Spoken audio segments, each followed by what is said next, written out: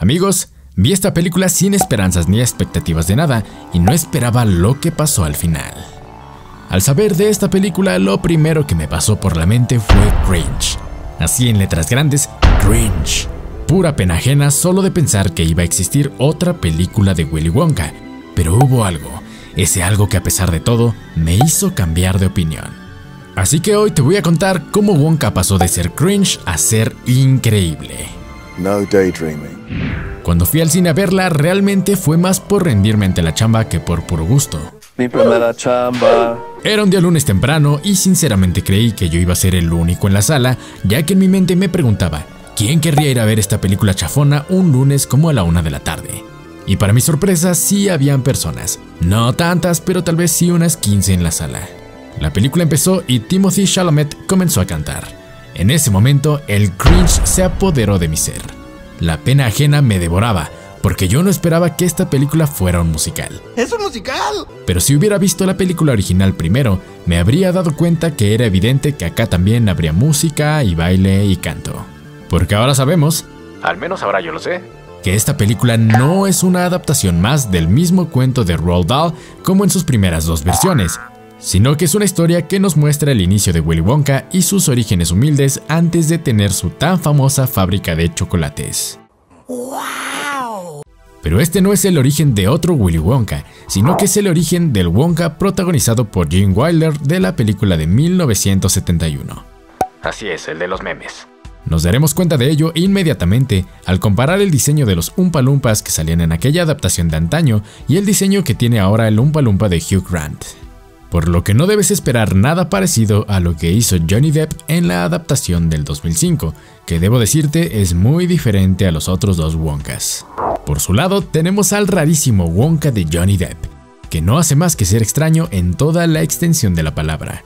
Y eso era de esperarse al ser un personaje ya de por sí loquito y estrafalario, pero todavía más al ser interpretado por Depp y adaptado por Tim Burton que normalmente hace cosas oscuras y bizarras, pero en la fábrica de chocolates de Wonka del 2005 se le votó por completo, entregándonos la peor de las tres adaptaciones del personaje, lo que terminó asqueando un poco a la gente del chocolate en aquellos tiempos, o quizás solo a mí y a ustedes si les gusta la película del 2005. Por el otro lado tenemos al Wonka de Jean, uno que suele ser amable, pero no deja de ser un humano loquito al final de cuentas, por lo que también hay veces en las que pierde la cabeza y deja ver su lado más oscuro frente a los niños.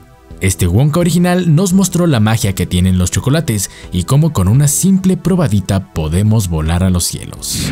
Y justo para volar, tenemos al Wonka de Chalamet, una versión más joven de la adaptación de Jin. Esta versión es inocente, bondadosa y muy feliz, por lo que le da su respectivo tono de juventud e ingenuidad al personaje, que después se convertirá en el más grande chocolatero del mundo. Chalamet canta increíblemente bien. Y sí, aunque dije que me daba cringe que esta película fuera un musical, el vato salvó todo lo que yo creía perdido. Tiene una voz bonita que hace que las canciones tomen forma y lo hace siempre con gusto y una sonrisa en su rostro.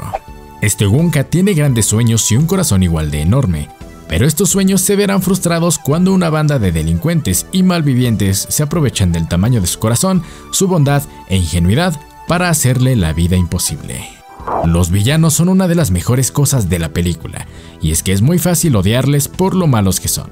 Tenemos a Olivia Colman y a Tom Davis, que con solo verlos se nos viene a la mente la casera que no te deja hacer nada en tu departamento y te cobra por todo, o tu jefe que quiere que le vendas tu vida solo por una caja de pizza fría. Son personajes nefastos a más no poder, pero es justo eso lo que los hace tan buenos. Ya sabemos que Olivia Me Pongo de Pie Coleman es increíble en todo lo que hace, y verla en un papel así de infantil quizá puede haber confundido a más de uno desde el tráiler, pero al mismo tiempo es mala con carne, más mala que mi experiencia en el cine. Porque ya cuando me había acostumbrado a escuchar una que otra canción, que de verdad son buenas y tienen sentido dentro de la historia, detuvieron la función y un empleado del cine entró a la sala gritando que tenían un problema con la proyección de la película. Eso era algo que yo ya había notado, porque la función para la que yo compré boletos era en español latino, y lo que yo estaba viendo estaba en inglés. Sinceramente en algún momento yo pensé que me había confundido y que en realidad sí había comprado boletos para verla en inglés, pero el empleado del cine me lo confirmó. No solo te equivocas, sino que eres torpe. Y eres feo igual que tu madre. Los tontos fueron ellos. Así que lo que hicieron fue quitarnos la película que ya iba como a la mitad y luego reiniciarla desde el principio, pero esta vez en español. Comenzamos todos a quejarnos y una señora, gracias señora, fue a pedir que la pusieran desde donde nos habíamos quedado. Pero una vez más, no supieron hacer bien las cosas y adelantaron demasiado la película, por lo que hubo una pequeña parte como la mitad de la película que en realidad no vi. Cuando decidieron reanudarla, lo único que podía pensar es en la ineficiencia de los sistemas cuando no sabes lo que haces, y eso es justo lo que sucede en la película de Wonka. Un sistema corrupto e ineficiente que giraba en torno a un cartel criminal de chocolate. Estos personajes tienen a toda autoridad bajo su mando, tanto a la policía como a la iglesia, y es aquí donde podemos ver lo malvados que son de verdad y las buenas actuaciones de todos y cada uno de los villanos. Aquí también podemos notar una pizca de la oscuridad que suelen tener las historias de Roald Dahl. Si bien no es algo bizarro y súper oscuro, tenemos un cártel de chocolate que controla todo, un departamento de policía corrupto, sobornos, un sacerdote chocohólico y también corrupto, intentos de asesinato y desapariciones forzadas, por lo que quizá no parezca una película oscura a simple vista, pero detrás de todo el chocolate y los colores se esconde la bestia de la maldad. Y es que el hecho de que todos sus personajes sean muy malos o muy buenos la hace perfectamente entendible para los niños y fácilmente disfrutable para los adultos. Como yo, que a pesar de haber tenido una experiencia horrible por parte del cine al que fui y no haber tenido ninguna expectativa respecto a la película, al final terminé disfrutándola por lo inocente y bonita que es. Recordemos que el director y el escritor de Wonka fueron quienes hicieron Paddington y Paddington 2, que yo no he visto, pero todo el mundo dicen que están buenísimas.